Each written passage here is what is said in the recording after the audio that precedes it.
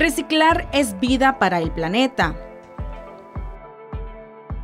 Son los celulares, computadoras viejas, reproductores MP3, electrodomésticos, memorias USB, impresoras y faxes, entre otros, que a lo largo del tiempo van siendo descartados debido a averías u obsolencia, a raíz de los avances de las nuevas tecnologías.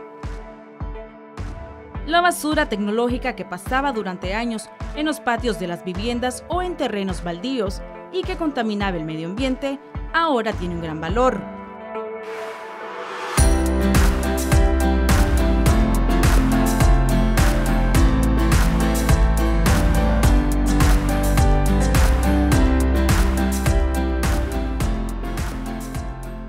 Gracias a la Estrategia Nacional de Residuos de Aparatos Eléctricos y Electrónicos RAE, la cual es impulsada por el Ministerio del Ambiente y de los Recursos Naturales desde el año 2020. Esta iniciativa está siendo replicada en las empresas recicladoras Comet y Metales Alfa, ubicadas en Managua. Pues en la actualidad nos dedicamos a la compra del desecho electrónico. Cuando digo desecho electrónico me refiero a los residuos de de tarjeta electrónica, los celulares, también compramos lo que son este, los aparatos electrónicos enteros.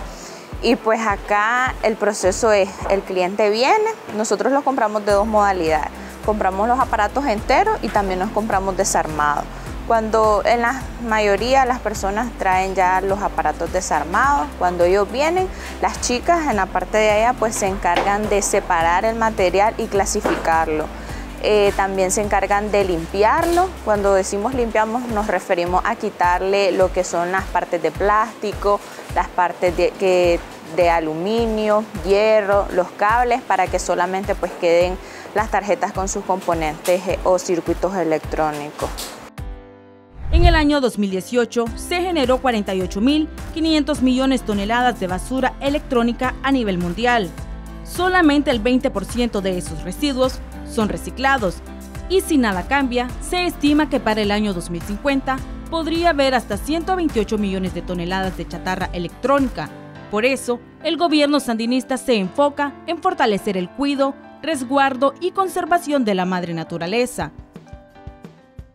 Esto, esto que está haciendo el Ministerio del Ambiente y Recursos Naturales, en conjunto, en coordinación con los propietarios de los centros de acopio, de las empresas que manejan residuos de aparatos eléctricos y electrónicos y de los talleres de reparación y recuperación de AE y con otras instituciones del Estado, es con el objetivo de contribuir a disminuir la contaminación que se genera cuando estos se disponen de manera inadecuada en vertederos o perdón, en basureros ilegales o cuando se quema a cielo abierto por lo mismo que libera esa sustancia, esas sustancias se elevan por, la contaminación una vez que se queman y después ellas precipitan, caen, se van al suelo y se van al agua. Y estos plásticos mal manejados son arrastrados y se van a los cuerpos de agua y se van a, fragmentar en microplástico y en nanoplástico. Y después esto en la cadena alimenticia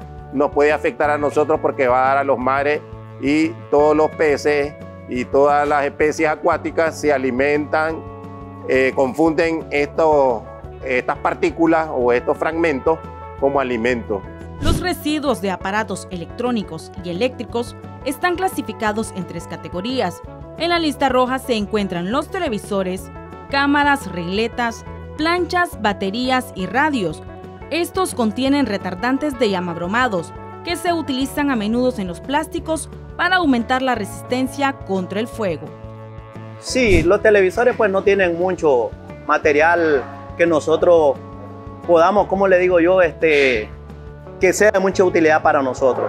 Lo que es aire acondicionado, sí, porque trae un material que es aluminio, trae cobre, eh, los chimbos que traen cobre también, este, las computadoras traen tarjetas, hay tarjetas de primera, hay tarjetas de segunda, eh, estamos hablando de los monitores y eh, lo que es celulares y muchas cosas, pues verdaderamente de que lo que es producto RADE y estamos hablando de chatarra electrónica, es un rubro que deja muy buenos beneficios a nosotros los empresarios del reciclaje.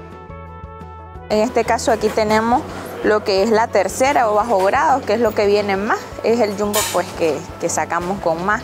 También por acá tenemos lo que son los celulares o dispositivos móviles que los, nosotros los manejamos los celulares los dividimos en dos. Compramos smartphone y compramos antiguos. Los antiguos los de teclado los compramos sin la tapa de atrás y sin la batería. Esto pues, es uno de los, de los materiales que más entran.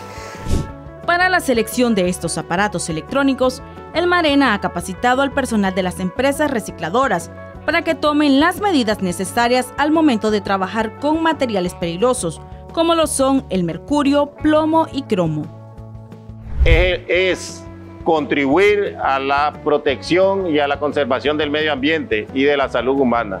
¿Por qué? Porque esto que anteriormente iba a los predios baldíos y lo, y lo desarmaban o de una manera incorrecta, ahora a medida que el gobierno de reconciliación y unidad nacional, nuestro gobierno revolucionario, los ha venido capacitando a través del Ministerio del Ambiente y Recursos Naturales Marena, le hemos venido enseñando cuál es la manera correcta. Si ustedes se fijan, ustedes utilizan las herramientas adecuadas, desarmadores, eh, utilizan desarmadores de estrella, utilizan eh, este otro tipo de, herramientas. ¿Esto cómo le llaman este desarmador? Alien, ya, este alien. Utilizan también de copa, ¿verdad? Utilizan plano, utilizan tenaza y van de esa manera separando, desmembrando qué es lo que realmente necesitan, porque esto se comercializa en el mercado. Esta es la parte valorizable. Si es aquí, el personal de nuestra bodega pues cuenta con los artículos de protección como el casco de seguridad, los lentes, su guante y cuentan con las herramientas necesarias para poder desarmar el desecho electrónico cuando viene entero. Ellas cuentan pues con los, diferentes desarmadores que existen, con, las puntas, porque bueno, sabemos que hay de una variedad de tornillos que con el mismo desarmador no se pueden quitar todos y pues ellas cuentan con el material necesario. En la empresa Comet SA laboran solo mujeres. Ellas se encargan de la selección, limpieza y pesaje de los aparatos. Estas mujeres al frente de asignaciones reflejan lo que es la verdadera equidad de género. Desde esa empresa se exportan semestralmente 28 toneladas de desechos electrónicos.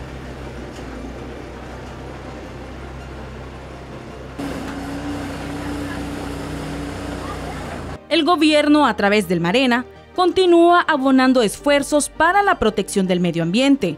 Es por eso que se promueve el manejo adecuado de los residuos de aparatos eléctricos y electrónicos. Como parte de las acciones de la estrategia RAE, el Marena además está organizando reciclatones a nivel nacional para que las familias se deshagan de los aparatos electrónicos inservibles.